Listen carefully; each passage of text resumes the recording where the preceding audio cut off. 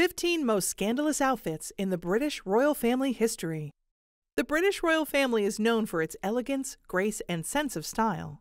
But sometimes, even the most refined royals can make fashion blunders. You won't believe what some of these royals wore to shock the world and break the rules. From daring dresses to controversial costumes, here are 15 of the most scandalous outfits in British royal family history. So get ready for some royal drama. Let's get started. Number 1. Princess Diana's Revenge Dress. Starting our list with the most iconic and scandalous royal dress. Princess Diana's revenge dress was a stunning black silk gown that she wore to a party in 1994, the same night that her husband, King Charles, confessed his affair with Camilla on TV. The black silk dress was designed by Christina Stambolian three years earlier, but she had never worn it before because she thought it was too daring. The dress's low cut neckline, fitted skirt, and above the knee length made it a standout piece that broke the royal fashion norms into pieces. The off the shoulder, form fitting style showed off Princess Diana's body and curves. The dress gained significance as it coincided with an infamous royal moment of her estranged husband admitting infidelity in a TV documentary. The dress earned the nickname the Revenge Dress from the media and the public. This revenge dress was seen as a way to show her confidence and independence despite the humiliation and pain caused by Charles's betrayal. Since then, the dress has gained iconic status and continues to be trendy in popular culture. Number 2. Princess Catherine's Breezy Skirt. Princess Catherine, the ever graceful Princess of Wales, encountered an unexpected fashion mishap during a breezy visit to Calgary, Canada in 2011. It was a sunny day, and she had chosen to wear a delightful yellow Jenny Packham sundress that perfectly epitomized her style. The knee length yellow dress was made of crepe silk and featured puffed short sleeves, a self covered button front closure, and a gathered waist with a fully pleated skirt. The dress was a customized version with a beautiful primrose yellow color. However, the gentle Alberta winds at the airport had other plans for her outfit, and the skirt of her sun kissed dress seemed to have a mind of its own. As she stepped off the plane, the air kept blowing up her skirt, creating an unintentional moment of vulnerability.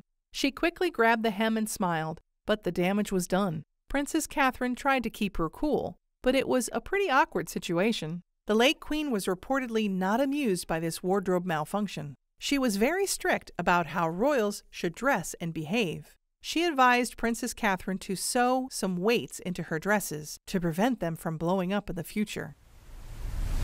Number 3. Princess Diana's translucent skirt.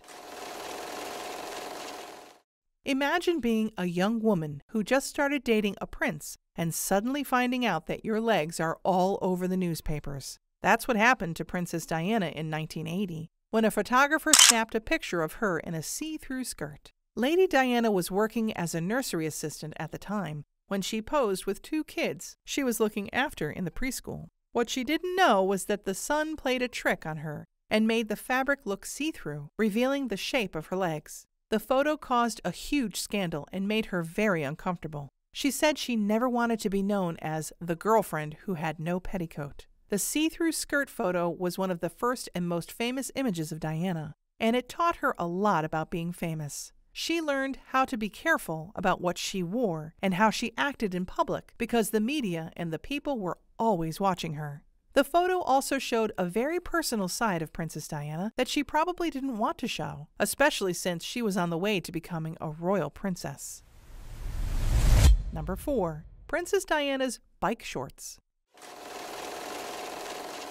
Princess Diana was not only a royal icon, but also a fashion icon who influenced many trends in the 80s and 90s. One of her most controversial looks was the cycling shorts and sweatshirt combo, which she often wore to or from the gym. Princess Diana wore cycling shorts, mostly in neon colors. She paired them with oversized sweatshirts that featured logos of universities, such as Harvard and Virginia, or brands such as Virgin Atlantic and USA. She completed the look with white crew socks, chunky sneakers, and sometimes sunglasses or a baseball cap. This casual and comfortable outfit showcased her athletic figure and her playful personality that defied the expectations of how a princess should dress. Bike shorts are a comfy and cool choice for many fashion lovers, but they were not always appreciated when Princess Diana rocked them. Even after she separated from King Charles in 1992, she still had to follow the strict royal protocol that dictated how she should dress and behave. Bike shorts were too sporty and showed too much leg for the royals' taste. But Princess Diana had other plans. She started to wear bike shorts and sweaters that showed off her relaxed style. These outfits were a shock to the public, who were used to seeing the royals in formal and conservative clothes. Her casual looks were a clear sign of her rebellion. Number 5. Queen Elizabeth's expensive wedding dress. The late Queen Elizabeth's wedding dress in 1947 was a lavish affair that contrasted with the situation of post war Britain. The dress was created by Sir Norman Hartnell, who was inspired by a painting called Primavera by Botticelli. The dress was made of white satin and had a 15 foot train that was decorated with crystals and pearls. The dress also had a symbolic meaning of rebirth and growth after World War II. This is where the controversy comes in. The Queen had to use clothing ration coupons to pay for her dress because there were strict rules about how much fabric and materials people could use after the war. The government gave her 200 extra coupons to buy the expensive material for her gown. She also received hundreds of coupons from people who wanted to help her. She had to send them back, though, because it was illegal to use them. Her dress indeed was like a dream come true, but some people were not happy. They said she was showing off and not caring about the problems in the world. The royals were not pleased either. They thought she was being disrespectful and irresponsible with her money. Number 6. Princess Diana's Headband. Princess Diana was known for breaking the rules when it came to her fashion choices. She often wore outfits that were daring and unconventional. One of her most iconic looks was when she wore a royal heirloom necklace as a headband at a gala dinner in Melbourne, Australia in 1985. The necklace was an Art Deco emerald choker that belonged to Queen Mary, the grandmother of the late Queen Elizabeth II.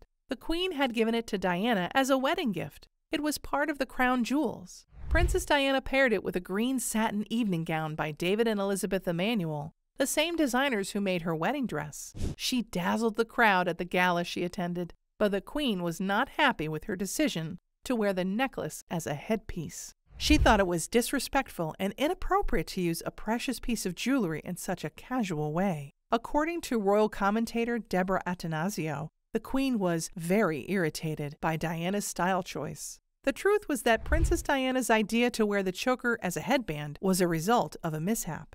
She was in a hurry to get ready for the event and tried to put the necklace over her head instead of waiting for someone to help her clasp it. It got stuck on her nose, and she couldn't get it off. A Canadian diplomat named Victor Chapman suggested that she wear it as a headband instead, as it matched her young and fun energy. Number 7. Princess Catherine's dress at the Diamond Jubilee pageant.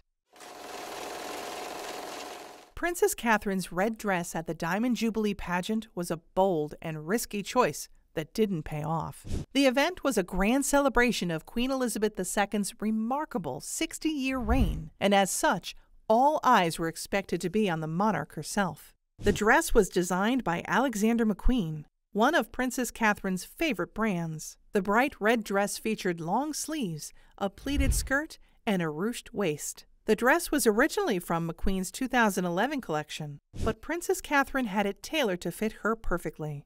Her outfit added a scandalous contrast to the gloomy weather and the muted colors of the other royals. The other members were dressed more conservatively to honor Queen Elizabeth II's 60th anniversary on the throne. Some people criticized Princess Catherine for trying to steal the spotlight from the Queen with her bold choice of color. Others praised her for adding some brightness and glamour to the event.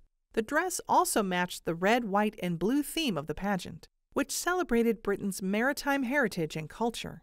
Princess Catherine accessorized her dress with nude heels by L.K. Bennett, a hat by Lock & Company, and a brooch that belonged to the late Queen Elizabeth II. She looked radiant and happy as she waved to the crowds from the royal barge, along with her husband, Prince William. and other members of the royal family. The dress was one of the most talked about fashion moments of the year 2012, and it showed that Princess Catherine was not afraid to make a statement with her style.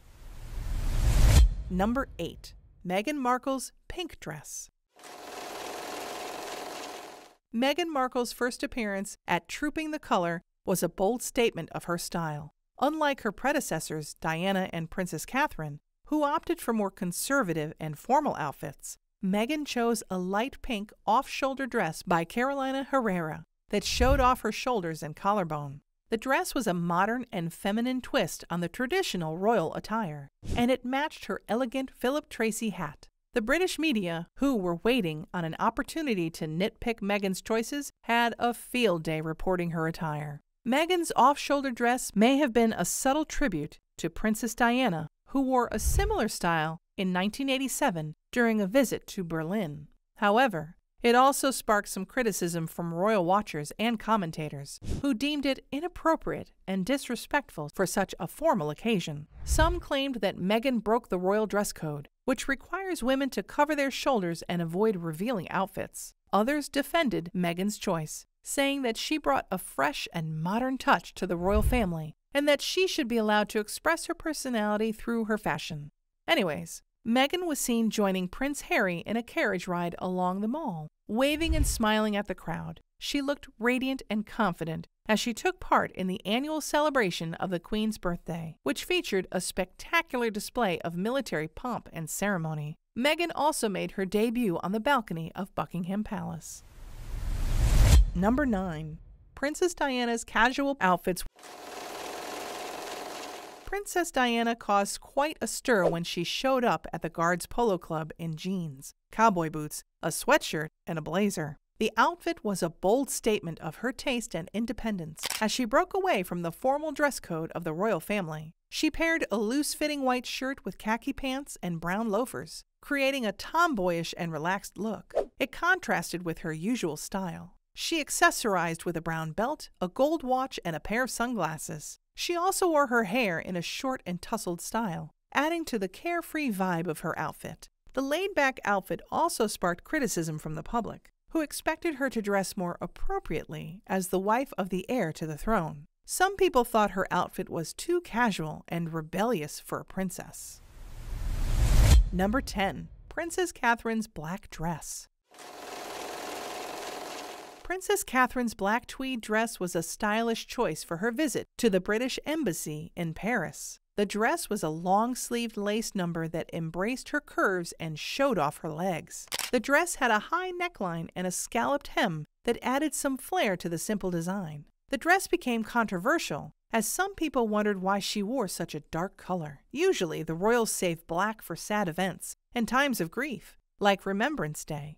Some people might have seen it as a sign of disrespect or sadness. Number 11.